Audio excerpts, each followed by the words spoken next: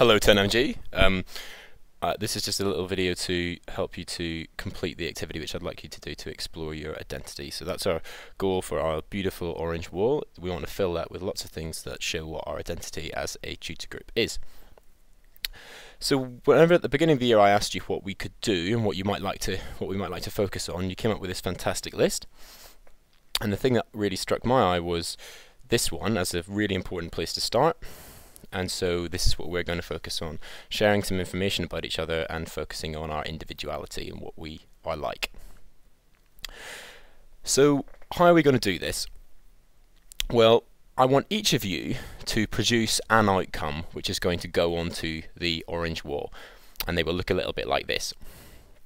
A good outcome will produce a little square for our wall which displays an aspect of your identity and a really amazing Time Lord sensational outcome would produce a square for our wall which explores several different aspects of your identity. So rather than simply just displaying it, you're also exploring it. And it's really important to remember that you can only fill an A4 page. It can't be any bigger than that. So what could it look like? Well, you could have some images of your favorite things. So for example, a favorite book, film, sport, etc you can have uh, some images of favorite people and places, and that could be family members or famous people that you admire. Um, or you could think about some favorite subjects or some ideas that you enjoy. So if you particularly like astrophysics, you might have some images to do with that. It could be a written description of your identity. Um, but if you're going to write a description of your identity, can you please have no more than 200 words uh, and make sure that your sentences make sense. But I don't mind that it I don't mind if it's in any style or format that you like. So you can write prose, like a story, or you can write poetry. Um, if you want, it could be an iTunes playlist, and you could choose at least 10 tunes that represent different aspects of your personality. Or it could be more visual, so you could think of images that represent who you are. Um, and if you're going to do something like that, it could be a collage or it could be a, um, a series of um, uh, a series of pictures, or you could do a drawing or a painting, but it must fit on the correct size page, which, if you remember, is an A4. This is the kind of thing I think you would think about if you were maybe thinking about doing something that was more visual. This one of my year 10s did this last year, and it is really beautiful.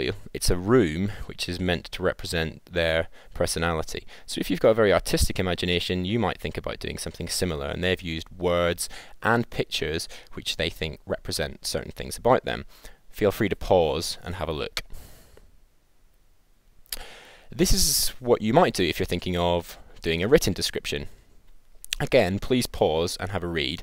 It's again one of it's one of my students, uh, year 10 student, who wrote all of the things that make up who they are, and I think it's a really beautiful piece of writing. Now, you don't have to write something that's exactly the same of this, but it's an idea of what you might want to do. And feel free also to use the same style. I am many people. I am, I am, I am.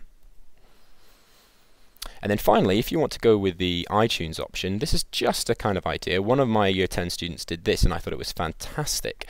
They looked in their iTunes um, playlists and they wrote songs which they thought represented things about their personality and this particular student was really clever because they put the, the poem the songs into a poem format so that they almost tell a story about them and each one of these is a different tune on their on their iPod.